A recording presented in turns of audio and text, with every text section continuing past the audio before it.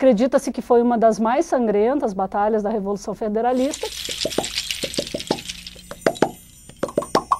essa polarização entre maragatos e pica-paus vai ser levada por muitas décadas na política passofundense, nas décadas de 20, nas décadas de 30.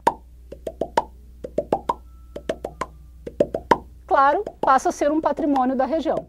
A nossa discussão hoje aqui trata do conflito e patrimônio histórico.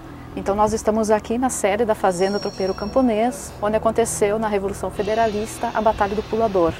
Pulador hoje é um distrito aqui do município de Passo Fundo. E um local de memória também. Como que um conflito pode se transformar em um local de memória? Programa especial Momento Patrimônio. Acompanhe sexta, dia 9 de novembro, às 9 horas da noite. Reapresentação no domingo, dia 11, às 10 horas da noite, na UPF TV. Apoio Cultural Patrimônio Imóveis. Os melhores negócios ao alcance de um clique.